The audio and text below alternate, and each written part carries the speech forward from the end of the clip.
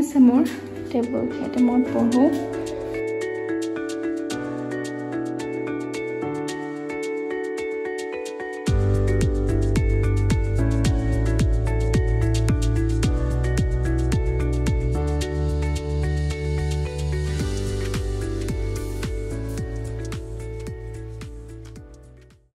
মই কেনেকৈ? নোট বনাওঁ এয়া হৈছে এখন মোৰ পলিটিৰ মানে নোটখিনি মই সেনেকৈ বনাই লৈছিলোঁ। এয়া।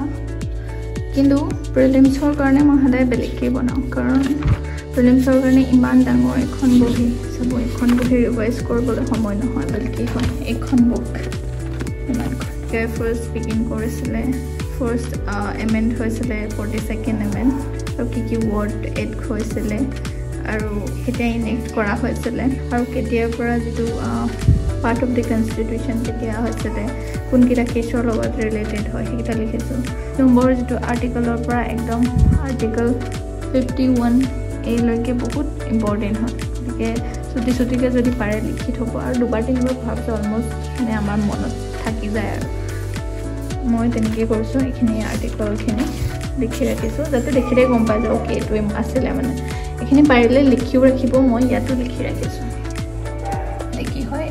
ৰাখিছোঁ এইখন হৈ গ'ল জিঅ'গ্ৰাফী আৰু এইখিনি ৰিভিজন টপিক মই এখন বহীত বনাইছোঁ। মানে ইয়াতে মোৰ তিনিটা টপিকৰ কাৰণে ৰিভিজন হৈছে। এইখিনি হৈ গ'ল মডাৰ্ণ ইণ্ডিয়াৰ ৰিভিজনখিনি মই কিমান শ্বৰ্টকৈ বনাই থৈছোঁ আপোনালোকে চাব পাৰে। ৰিটাৰ্ণ কৰি থাকিবলৈ ইমান ডাঙৰ জিঅ'গ্ৰাফী বহীখন চাওক কিমান ডাঙৰ হৈ যায় বাল্কি হৈ যায়। মই ইমান পটককৈ পটককৈ কেনেকৈ ৰিপিট কৰিব পাৰিম?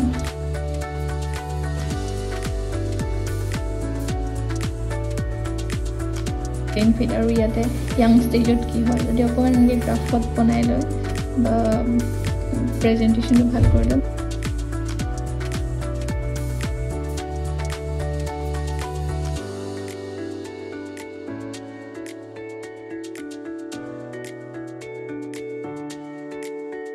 হৈছে মই সদায় ইউজ কৰোঁ মেমৰাইজাৰ হিচাপে।